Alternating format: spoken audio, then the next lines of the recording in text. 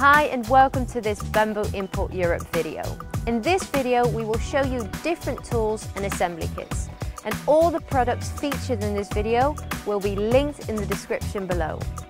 This is an authentic Japanese pull saw. You'll use the rhythm and the sharpness of the teeth to cut through the bamboo easily and neatly. It's very important that your tools are sharp so that you prevent the bamboo from splitting. We also have stainless steel mounting kits for our giant bamboo fences. This comes with the necessary nuts and bolts and the drill to easily assemble your bamboo products. If you want to know more about our bamboo products or tools, you can always visit our website. Thank you very much for watching.